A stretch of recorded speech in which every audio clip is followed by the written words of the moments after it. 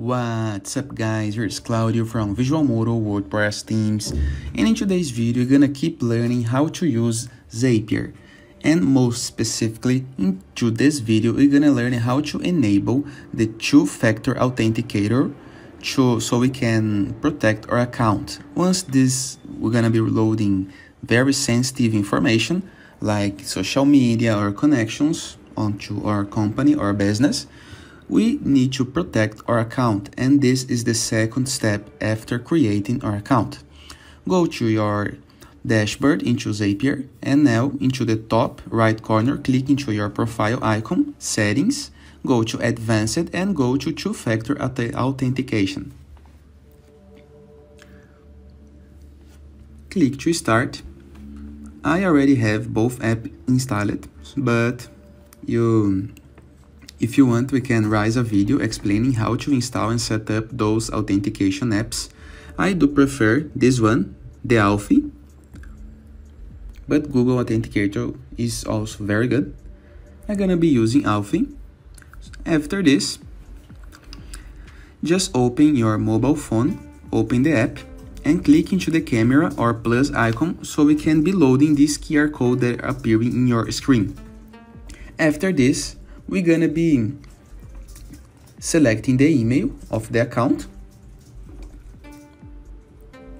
and the app gonna generate a code after reading the QR code with your phone camera. Apply the code here into this field so we can start. After code added, you can see a list of recovery keys. This is in the case that you lost access to your code and I recommend that you download these keys and keep in a very safe place.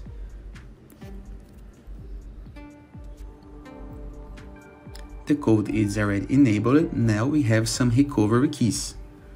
As far as I can remember, we have 8 keys. We can copy them to post into some blocks, notes, for example, or download all into a .txt file into your computer.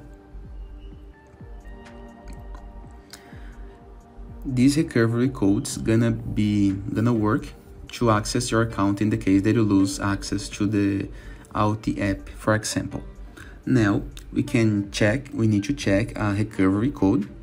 Just remember if you just to make sure that you have saved the information go to the file downloaded, grab one of the codes that you have downloaded, we have eight to choose, to choose from, post here, and next step.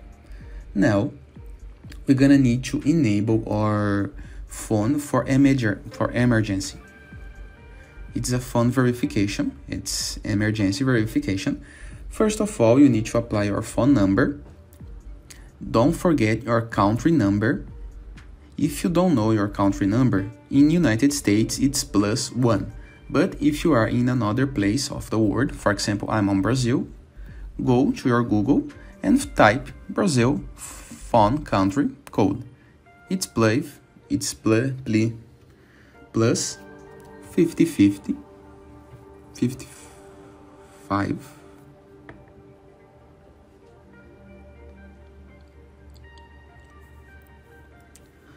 type your number. Use the code generated by the by your mobile app to perform this action